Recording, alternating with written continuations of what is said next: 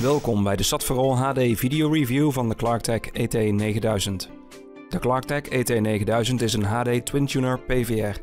De hardware van de ET9000 is grotendeels gelijk aan de eerder geteste VU Plus Duo. Ook zijn beide modellen af fabriek voorzien van een Enigma 2 variant.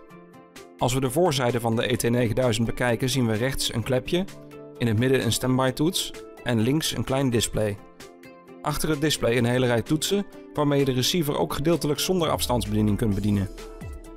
Rechts een USB-aansluiting, twee kaartlezers en ook twee CI-sloten die je in de praktijk waarschijnlijk weinig of nooit zult gebruiken.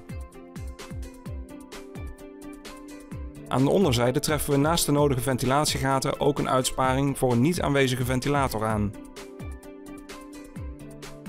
Als we de achterzijde bekijken treffen we daar allereerst de beide LNB-aansluitingen met doorlusmogelijkheid aan.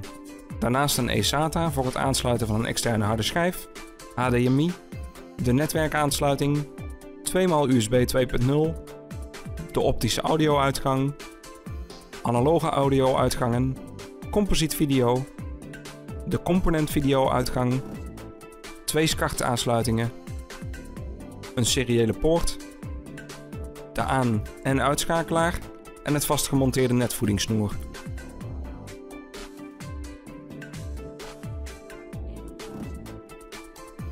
De bijgeleverde afstandsbediening valt ons nogal tegen. Hij oogt erg goedkoop, ligt niet fijn in de hand en heeft een onregelmatig zwart glanzend front en een aantal belangrijke toetsen zijn helaas nogal klein uitgevoerd. Het glanzende front is zeer gevoelig voor vetvlekken en daardoor ziet de afstandsbediening er al na enkele dagen erg vettig uit. Bij een receiver in deze prijsklasse met deze functionaliteit wordt naar onze mening een betere afstandsbediening. Verder wordt er een kabeltje voor het doorlissen van de tuners bijgeleverd. Een setje batterijen. Een HDMI kabeltje van plusminus 1,60 meter. En tot slot een nette Engelstalige gebruiksaanwijzing waar je verder niet zo gek veel aan hebt. De ET9000 zept vlot, maar dat lijkt wel merkbaar iets trager te gaan dan bij de DM800 HD Second Edition en de VU Plus Duo. Dat valt zeker op de FTA-zenders direct op. De ET9000 geeft vrijwel direct audio, maar video elt wat na. Nog steeds een vlotte zapper en mogelijk kan men de drivers nog wat optimaliseren.